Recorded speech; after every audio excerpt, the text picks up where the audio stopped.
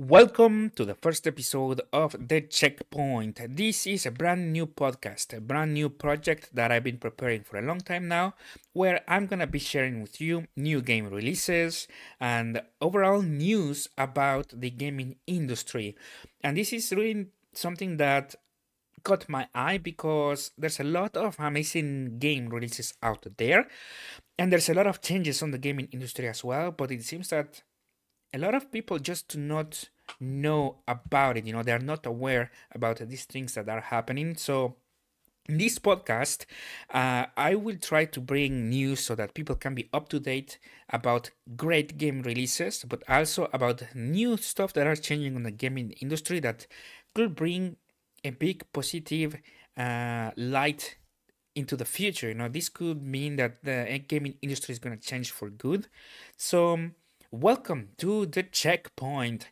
And we're to start, you know, with something that will impact um, the gaming industry quite a lot, but also something that a lot of people might like, which is the brand new release of Final Fantasy Rebirth. This is the second part of the supposed Final Fantasy VII uh, trilogy that they want to make. This, for those of you that are not aware, back in the day they released Final Fantasy VII, and they are now getting a remake.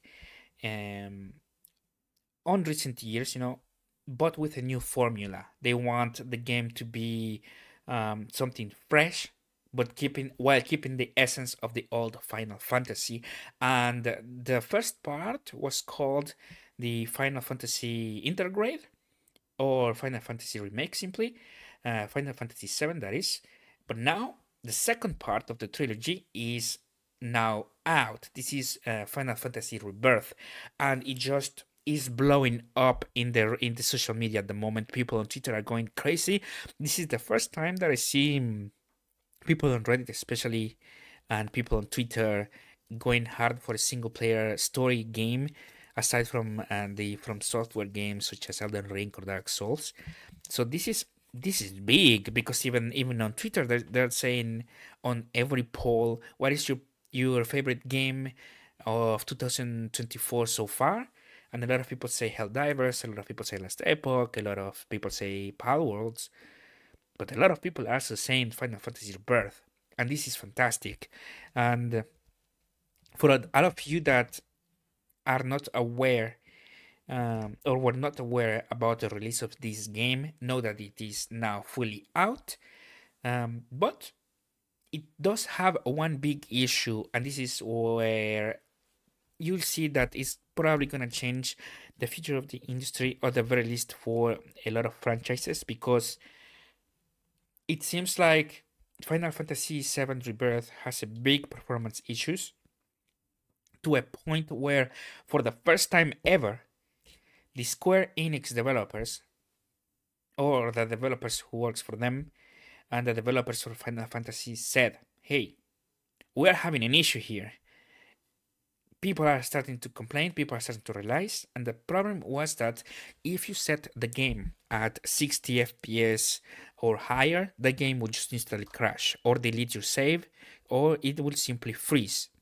And this just makes it completely unplayable in the literal sense. But also, even if you manage to keep going, you will have a, a, huge FPS fluctuation where not only you wouldn't be able to, to reach the 60 FPS, but rather you mm, would be st- struggling at like 14 FPS or lower. You know, so mm, there is a big performance issues uh, issue with uh, Final Fantasy Rebirth that even the developer said enough. We we have to do something about it because we actually managed to output a, a product that people are liking. Because um, we know that Final Fantasy 16 didn't got that big of a like it was not as popular as it as it was intended to be. Forspoken was a complete failure. Uh, Final Fantasy 15 before that was also not as popular as people expected it to be, and the developers themselves expected it to be. So now with Final Fantasy Rebirth, a game that finally people are enjoying, boom, it comes with performance issues, and this is important because when a developer acknowledges that there is an issue when they have never done it before, I think this is a glimmer of hope. You know, this is um, that little light that says there is hope for this company.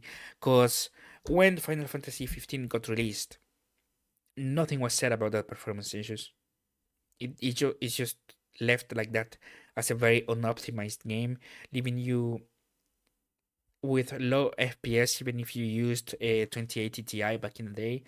Um, then Forspoken was unplayable for a lit in the literal sense. You could not even run it because it would crash uh, until they made a day one patch, and then it was just pure low FPS.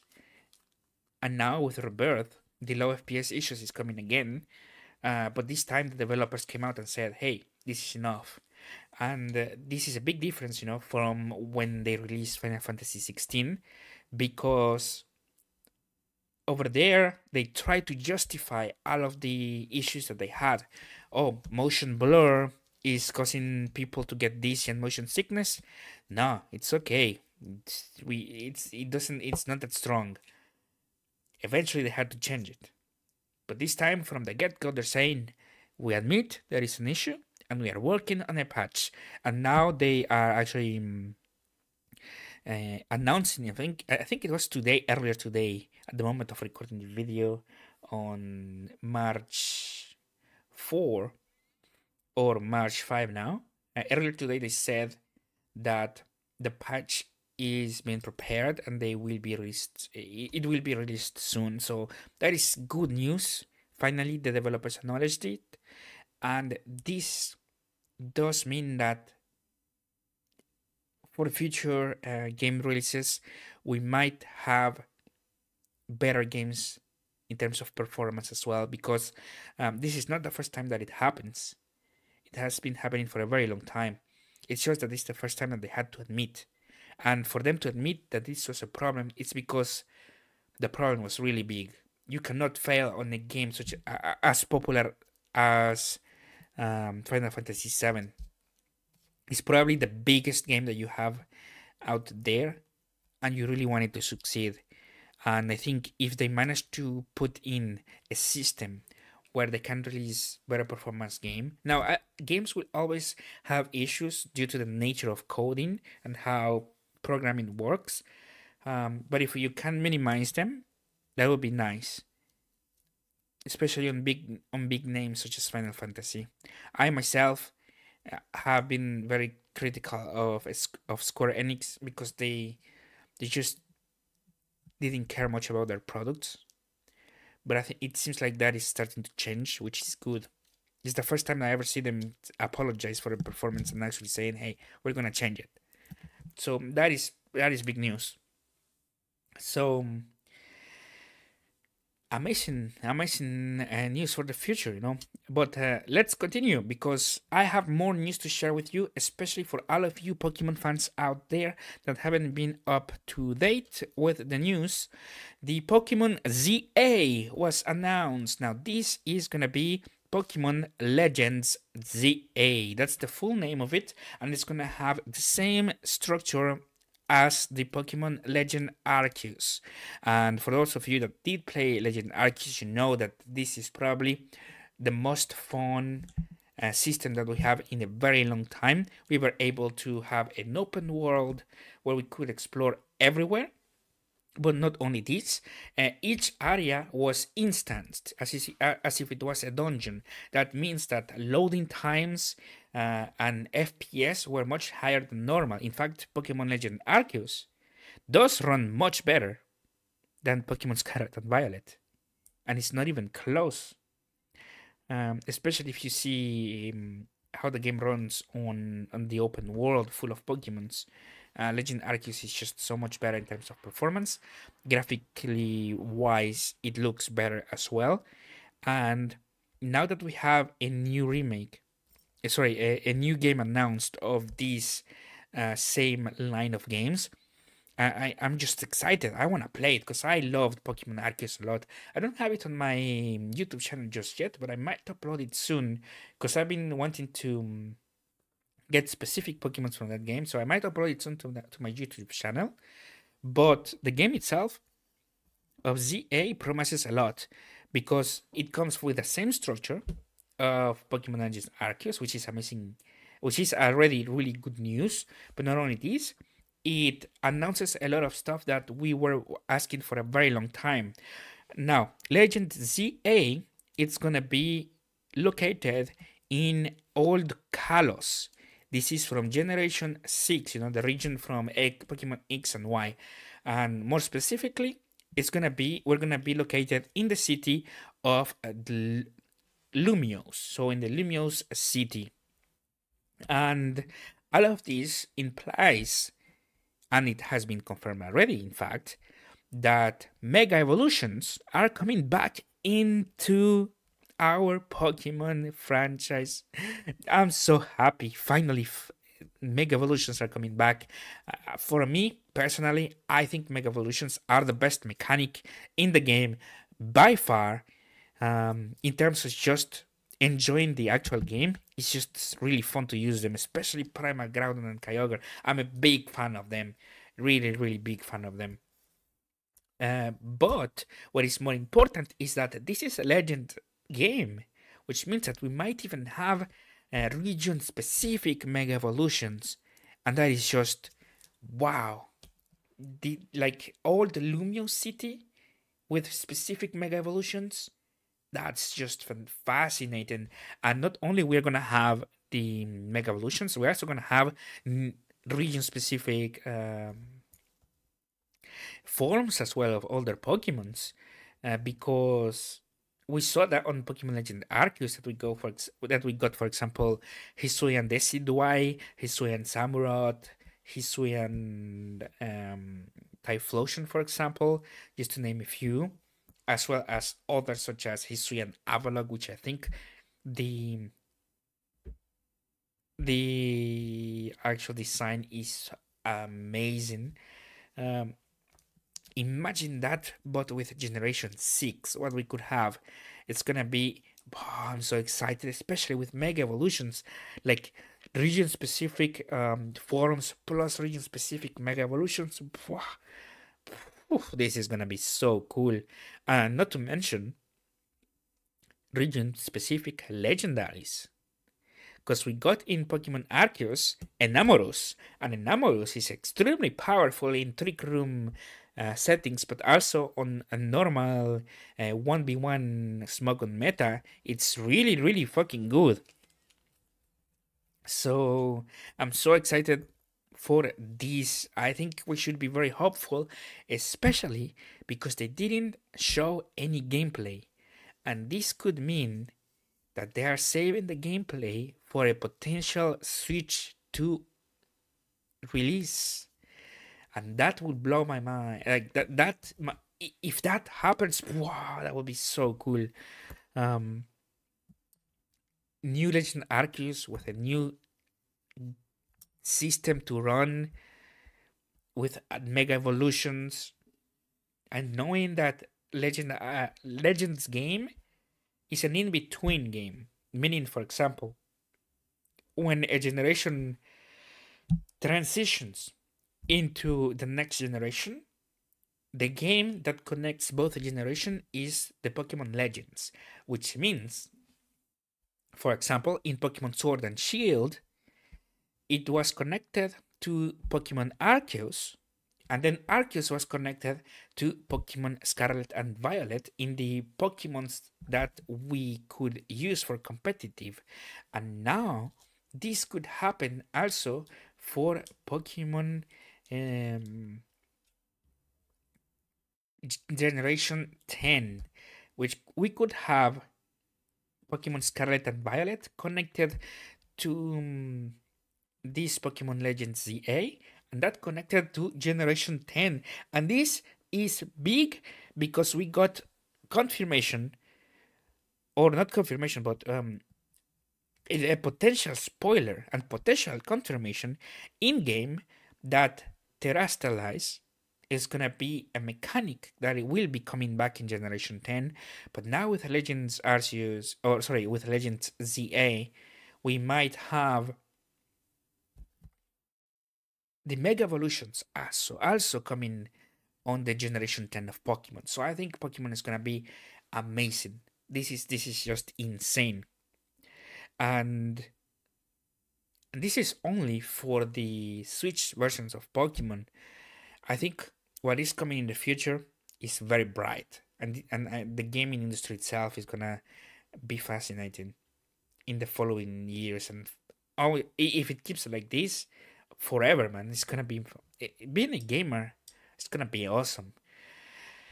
But this is not all because the Legends ZA is located in the region of Kalos, of all the Kalos, in fact, we might get a um, the backstory of ZA, which for those of you that do not know, ZA or Z, Z was a man who um, participated in the war that was uh, that, that took place uh, several years in the past of Kalos.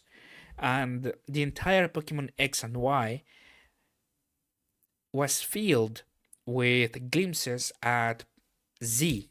And Z is a man actually that appears at the end of Pokemon X and Y um, to gift you the rare Floette, if I remember correctly. So exploring this potential war of Pokemon could be insane, especially because Pokemon Legends Arceus is not like Poke- like the mainline games. It is actually quite dark. In fact, Pokemons can literally attack you. So this is a more mature line of games, and if we get to explore the Kalos War in Pokemon ZA, that could be just man mind blowing. That could be the best potential game of Pokemon that we ever had, especially with Mega Evolutions coming in and legendaries coming in as well. We're gonna find Xerneas for sure, or at least I imagine that we might find it. We're gonna find Yveltal. We're gonna find the special form of Zygarde, the hundred percent form, um, because that is what um, we get as well on this, You know, so this is gonna be amazing. And a true redemption as well for the generation 6 because i feel like generation 6 got a bit overshadowed by the fact that they released the remakes of pokemon omega ruby and alpha sapphire. So pokemon legends ZA is gonna be a rebirth of the sixth generation and the comeback of mega evolution. So i'm very excited for this but that's it for the switch versions of pokemon and uh, I will actually leave this uh, news with the um, promotion events or the special events. So if you are in Pokemon Scarlet and Violet, you can actually get this week the um, Venusaur on raids. Then it's gonna switch to um, Blastoise and Charizard. So this is gonna be um, really good as this will be six star raids, which means that you're gonna have guaranteed at least five perfect IVs on your Pokemon. So make sure to do the raids this week as you are going to have access to the Pokemons from these raids, like the starters from the raids.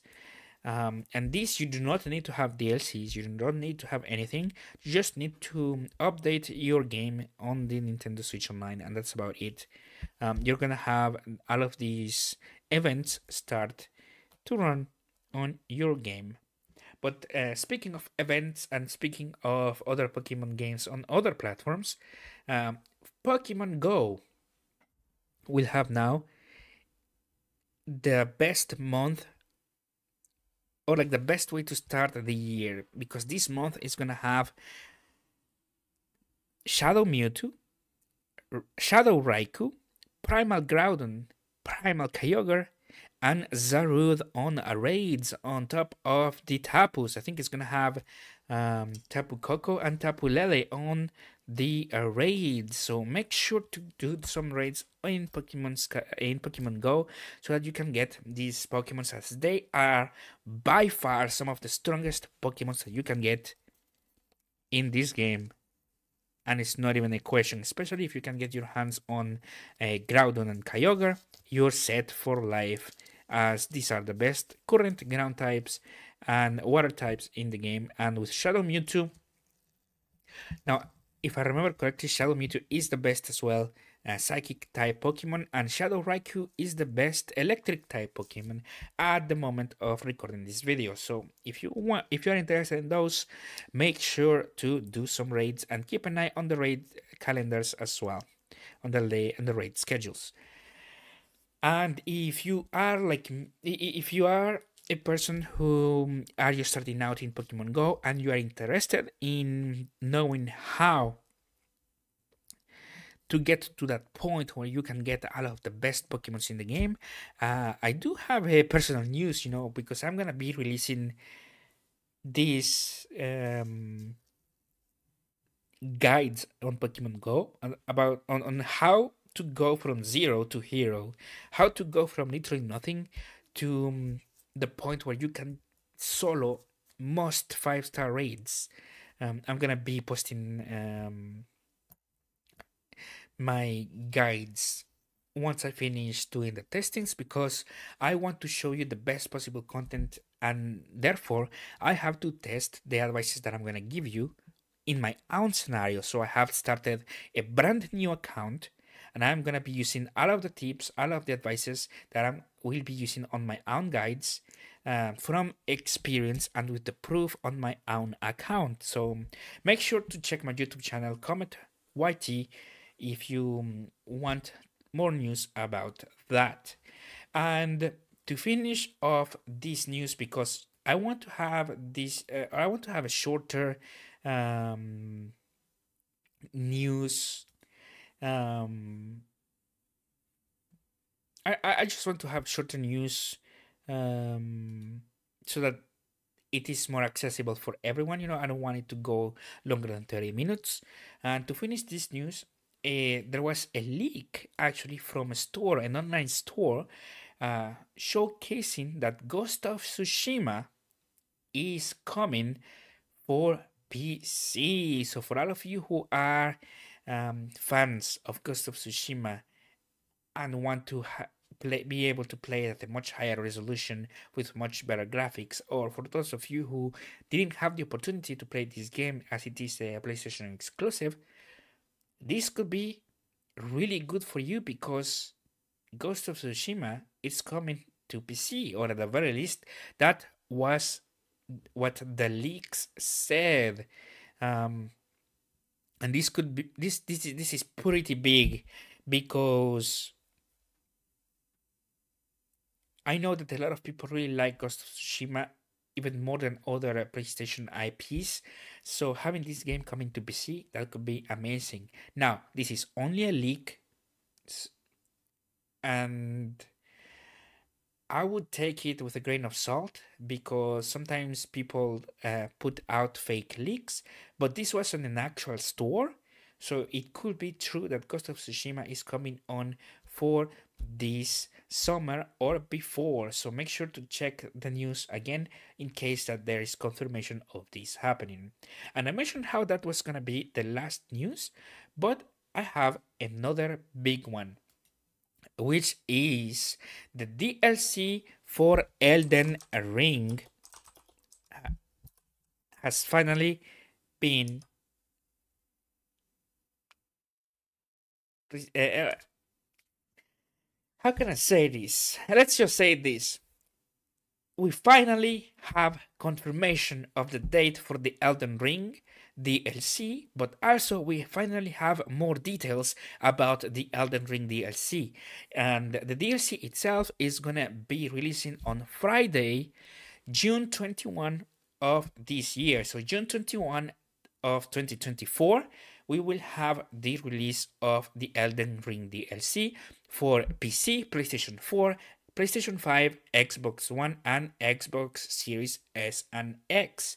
So this is gonna be fantastic for all of you um, Elden Ring fans, and we have a lot of news as well, which is the size of the map that we are gonna be able to play in Elden Ring is gonna be similar to what Limgrave um, uh, has, you know, so the, the territory itself is very similar to what Limgrave, uh, to the to what Limgrave is. So if you want to have an approximate of the size of the map, that is what you can expect it from to, to be, and it's it's actually quite big because not only is gonna be the size of this uh, area on itself, but also remember this is just the surface it could have many levels, like caves or even things above the city, um, like we had in other areas of Elden Ring. So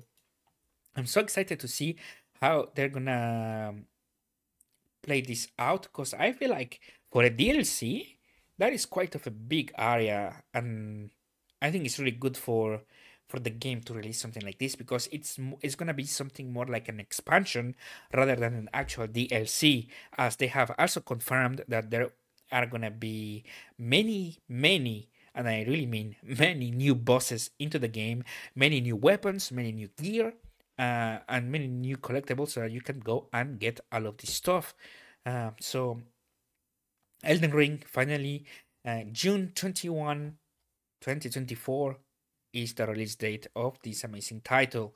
So make sure to check it out. I will definitely uh, keep my eye on it because I, man, I really want to play it. And there's a lot of people who are like, please, just give us more.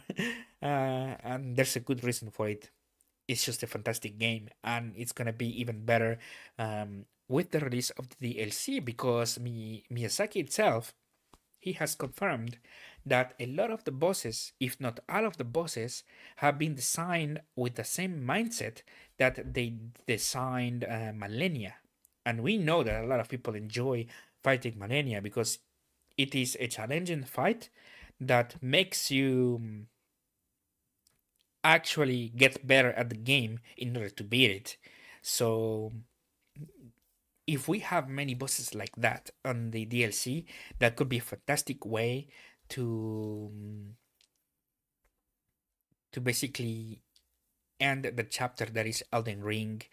Uh, as we know that they said that they didn't want to make more than one DLC or expansion for the game, so this is gonna be an amazing closure for this uh, for this wonderful game, because it's gonna be a very long story a, quite a big map, to be honest, if we compare it to the entirety of Elden Ring map. Um, and a lot of stuff to do. So let's see how it ends up being. I'm so excited for this, and we're definitely gonna have a bright 2024 in front of us. Uh, but that's it for me. I hope you guys enjoyed this version of the Checkpoint podcast. So this is just the first episode, and trust me, a lot more is coming into play. But for now, thank you so much for watching. My name is Comett, and if you enjoyed this episode, make sure to subscribe. Make sure to um, subs. Uh, make, make make sure to um, check out my YouTube channel as well. And for now, I will leave you until the next episode. Peace.